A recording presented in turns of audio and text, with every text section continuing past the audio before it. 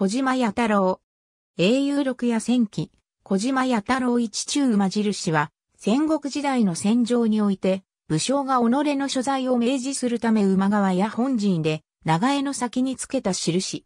馬印、馬印とも書く。馬印の前身であり、同様に用いられた旗印についても、本校で記す。井伊直政の的馬印以前は、上りの一部や四半旗を独自の衣装にして、大将の周囲に配置されていた。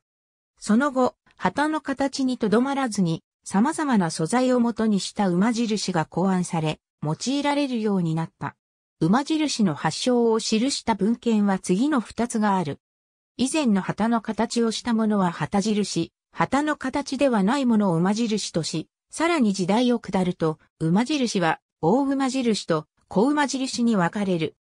戦国時代から江戸時代にかけての戦時には、備えの一つの部隊として旗組が組織され、指揮官である侍大将やその主家を示す大馬印、的よ、上り旗の側に、侍大将の側には小馬印を置き、備えの位置や部位を内外に示した。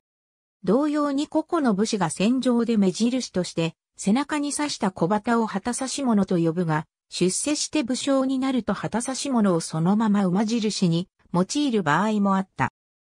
右から3番目が信長の馬印、11番目が秀吉の大馬印、8番目が秀吉の小馬印。右から2番目が秀治の御手蔵の小馬印、3番目が大馬印。右から7番目が正宗の旗印、6番目が馬印。戦国時代には兜の建物と同じく存在や信念を誇示するため有力な武将たちは様々な図案の馬印、旗印を用いた。ありがとうございます。